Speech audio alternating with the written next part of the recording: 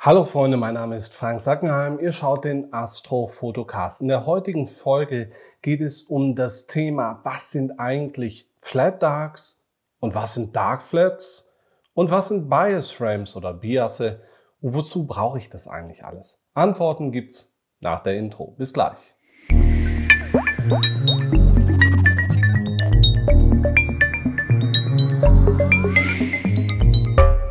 Früher war alles besser. Das ist ja so ein geflügeltes Wort, was man gerne mal daher sagt und was in den meisten Fällen überhaupt nicht stimmt.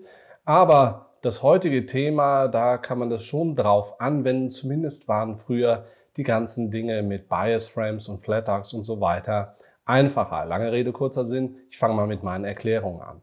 Was ist also ein Bias Frame? Was ist ein Flat Dark? Und gibt es eigentlich einen Unterschied zwischen einem Flat Dark und einem Dark Flat? Und wenn ja, wozu benötige ich diese Bilder eigentlich? Also was Dark Flat und Flat Dark angeht, das ist ein und dasselbe. Es gibt Leute, die behaupten, es gäbe da einen Unterschied, aber ein Flat Dark, das ist einfach das Dark Frame eines Flat Frames, also zu euren Flats ein passendes Dark Frame und ein Dark Flat ist nichts anderes. Also es gibt da keinen Unterschied. Was soll das auch sein? Man kann keine Flats machen von einem Dunkelbild. Das ergibt einfach keinen Sinn. In einigen Softwares heißt es Dark Flat, in den anderen heißt es Flat Darks. Und es gibt Leute, die meinen, darin noch einen Unterschied zu sehen, aber den gibt es nicht. Das ist beides das Gleiche. Und was ist jetzt der Unterschied zu einem Bias Frame? Fangen wir mal mit dem Bias Frame an. Das Bias Frame, das wissen viele von euch, das ist ein Dunkelbild, mit der kürzestmöglichen Belichtungszeit einer Kamera. So, was ist jetzt in solch einem Bias Frame drin? Das schauen wir uns mal am Computer an. Das ist also ein Bias Frame oder Bias Bild aufgenommen mit einer CCD-Kamera und man erkennt, dass dieses Bild eigentlich so gut wie gar nichts enthält. Hier ist so ein Zeilenfehler drin. Das Bild ist ein bisschen aufgehellt am linken Rand und am rechten Rand. Ansonsten enthält das Bild eigentlich beinahe nur Rauschen. Wir gucken uns mal die Statistik des Bildes an, um genau zu sehen, ob es irgendwas enthält. Und wenn man hier mal schaut, das aussagekräftigste ist hier dieser Mean-Wert. Der liegt bei 0,00862. Also wir haben insgesamt ein sehr, sehr, sehr niedriges Signal, wenn überhaupt. Ich kann das auch mal auf 16-Bit umstellen. Auch hier sehen wir, dass das Ganze sich im alleruntersten Sensorbereich abspielt. Man darf sich aber nicht täuschen lassen, denn wir haben schon gesehen, hier zum Beispiel am linken Rand gibt es eine Aufhellung, auch am rechten Rand gibt es eine Aufhellung. Darum ist es auch wichtig, so ein Bias Frame von den Bildern abzuziehen. Bias, das ist im Englischen, wenn man das äh, in der normalen Sprache benutzt, dann heißt es so viel wie voreingenommen sein. Also wenn jemand biased ist, dann ist er voreingenommen. Findet man ganz oft im Englischen in verschiedenen Zusammenhängen. Im Technischen ist damit immer eine sogenannte Vorspannung gemeint. Also was gemacht wird bei den Kameras, und das ist egal, ob es hier so eine DSLR ist oder eine Astro-Kamera, es wird quasi immer ein Grundlevel angelegt. Es wird einige ADUs immer an Grundlevel geben. Die Idee ist recht simpel dahinter. Man will damit vermeiden, dass zum Beispiel durch Rauschen irgendwie es passieren kann, dass ein Sensor einen negativen Wert liefert. Also, das ist für uns Astrofotografen tatsächlich sehr interessant, da wir ja in unglaublich dunklen Verhältnissen fotografieren. Wenn wir eine Galaxie aufnehmen und haben den Himmelshintergrund, dann sind wir wirklich ganz unten am sogenannten Noise Floor. Also, da kommen kaum Photonen irgendwie an und dann kann es tatsächlich sein, dass durch das Rauschen, also durch dieses zackige Auf und Ab der Messwerte, dass es da mal passiert, dass ein Wert irgendwie unter Null sinkt und dann würden wir einen negativen Wert bekommen. Das ist in der Messtechnik irgendwie ungeschickt, ungeeignet, das können wir nicht gebrauchen. Also hat man sich entschieden, hat gesagt, wir machen es so, dass wir immer eine gewisse Grundspannung anlegen. Damit vermeiden wir diese negativen Werte. In einigen Softwares oder hier und da in der Literatur werdet ihr nicht den Begriff Bias lesen, sondern Offset.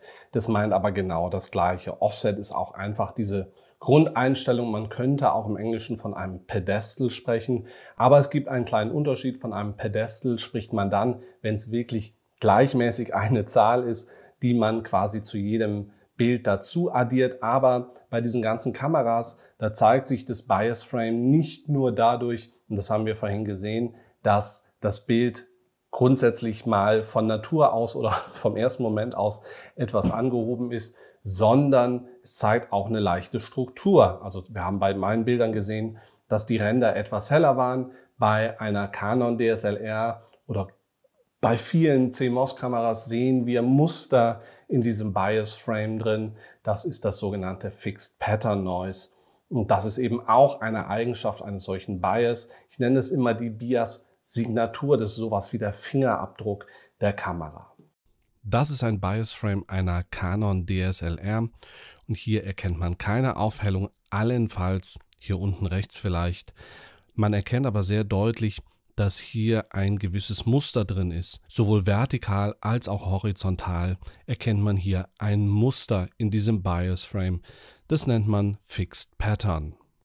Ab und zu hört man auch, dass Leute sagen, das Bias Frame enthält das Ausleserauschen und mit dem Bias wird das Ausleserauschen vom Bild abgezogen. Das stimmt nicht. Man kann Rauschen nicht abziehen. Das Bias Frame enthält natürlich das Ausleserauschen, wie jedes andere Bild übrigens auch. Jedes eurer Bilder enthält Ausleserauschen. In dem Moment, wo ein Bild ausgelesen wird, enthält es Ausleserauschen. Also das ist Quatsch, das ist Unsinn, das stimmt einfach nicht. Was man da abzieht, ist tatsächlich zum Beispiel das Fixed Pattern Noise, also irgendwelche festen Muster, die wir da sehen und letztendlich einfach den Wert. Ja, es ist gute Praxis, das ist aus dem Englischen entlehnt. Also man macht es einfach, man kalibriert die Bilder und man zieht dieses ungewollte Signal ab. Das kommt natürlich aus der Tradition der Berufsastronomen, denn diese ganze Bildkalibrierung, die haben sich nicht Amateure ausgedacht, sondern Profi-Astronomen, die irgendwann angefangen haben mit elektronischen Sensoren zu arbeiten, die sich überlegt haben, wie kriegen wir ein sauberes Signal. Genau genommen ist es gar nicht so wichtig, dass wir Amateur-Astrofotografen ein so sauberes Signal erhalten. Wir wollen nur Pretty Pictures machen und wollen jetzt nicht Messungen, wie zum Beispiel photometrische Messungen mit unseren Kameras machen. Aber wir sehen gleich, dass es sehr wichtig ist, ein Bias Frame unter Umständen abzuziehen. So, ich habe es ein bisschen vorweggenommen. Jedes Bild enthält eben ein solches Bias.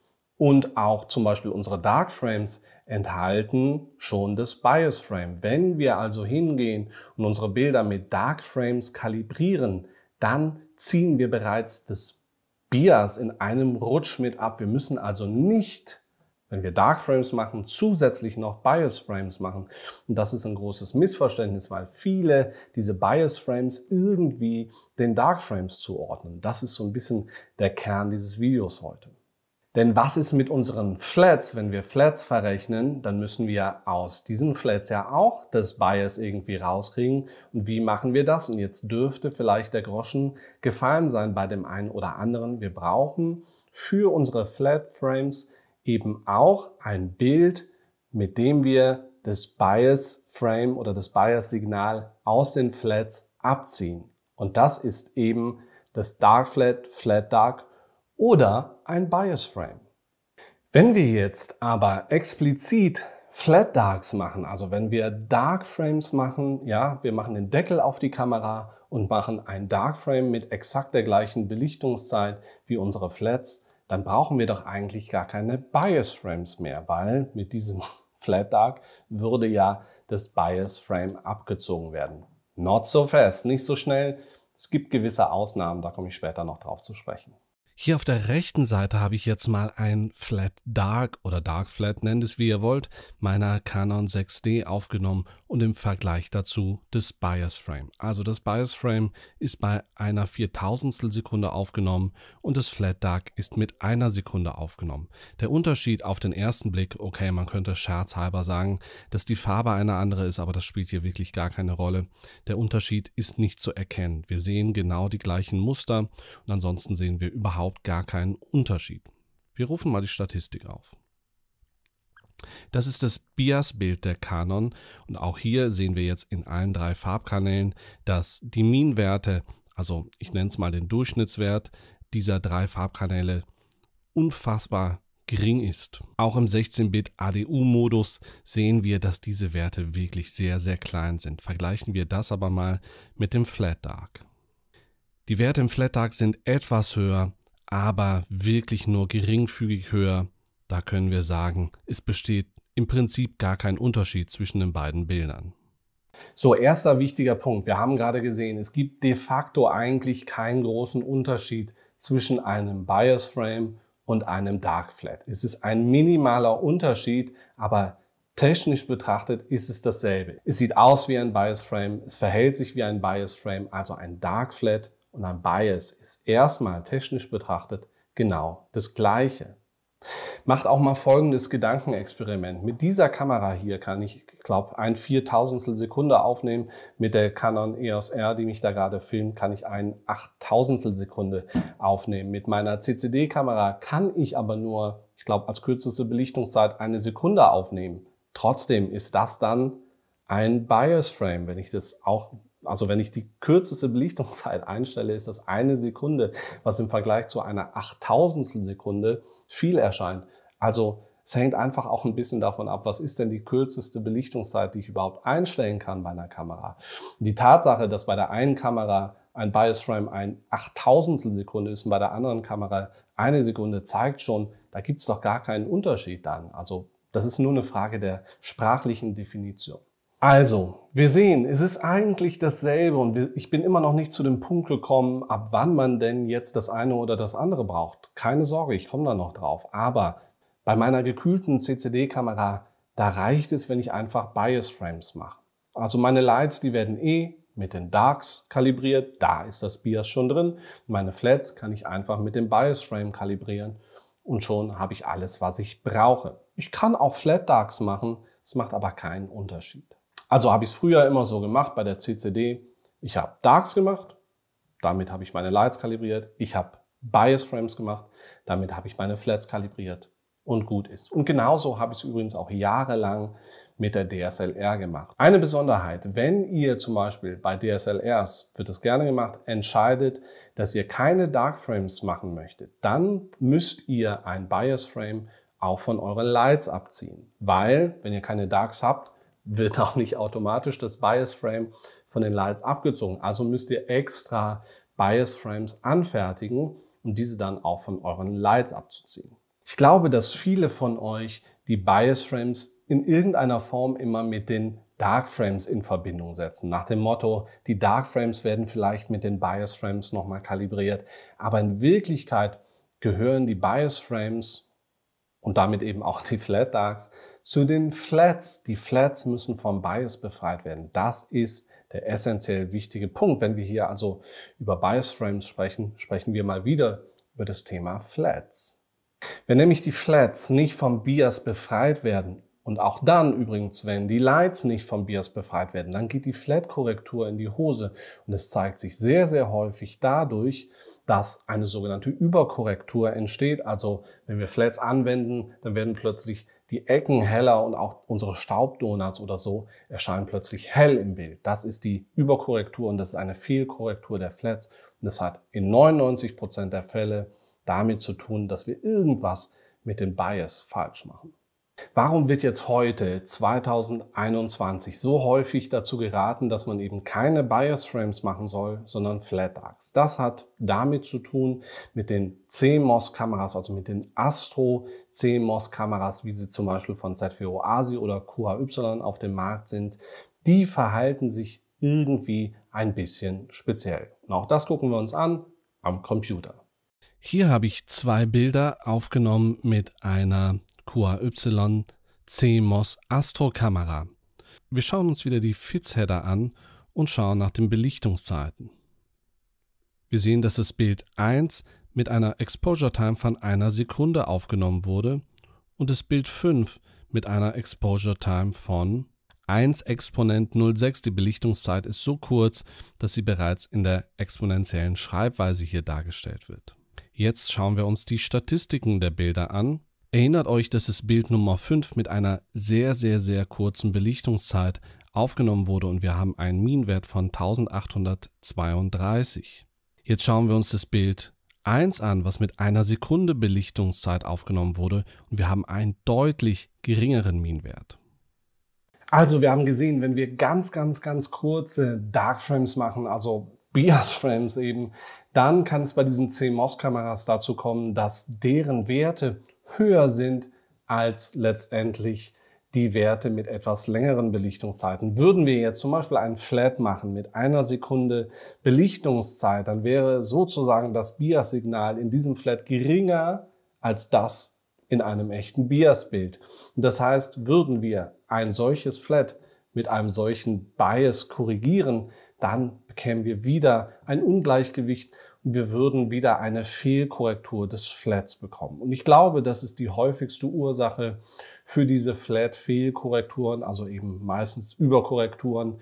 Und die Foren sind wirklich voll davon mit solchen Problemen. Wie kommt es denn zu diesem merkwürdigen, außergewöhnlichen Verhalten dieser CMOS-Kameras? So wirklich im Detail habe ich das ehrlich gesagt nicht verstanden. Es gibt einen Artikel von Dr. Q, das ist derjenige mit den QAY Kameras und der, naja, der ist Chinese, der hat einen Artikel auf Chinesisch geschrieben, den hat jemand ins Englische übersetzt. Meiner bescheidenen Meinung nach ist die Übersetzung nicht ganz so gut, also es liest sich hier und da ein bisschen komisch. Aber das, was ich verstanden habe, ist, dass sich der ADC, also der Analog-Digital-Konverter, dass sich der bei den CMOS-Kameras auch aufheizt. Und das tut er insbesondere dann, wenn wir ihn sehr kurz nur benutzen und schnell hintereinander, also eben dann, wenn wir Bias Frames machen, wenn wir sehr, sehr kurze Belichtungszeiten realisieren, dann heizt er sich scheinbar stark auf und das führt eben dazu, dass er falsche Werte liefert oder falsch, falsche Messungen erzeugt und das führt eben zu diesem merkwürdigen Verhalten. Im Prinzip müssen wir das auch nicht verstehen. Wir müssen nur wissen, dass es so ist, beziehungsweise besser gesagt, dass es so sein kann, denn es ist auch nicht bei jeder CMOS-Kamera so. Aber es kann so sein. Und wenn wir das wissen, dann können wir dementsprechend handeln.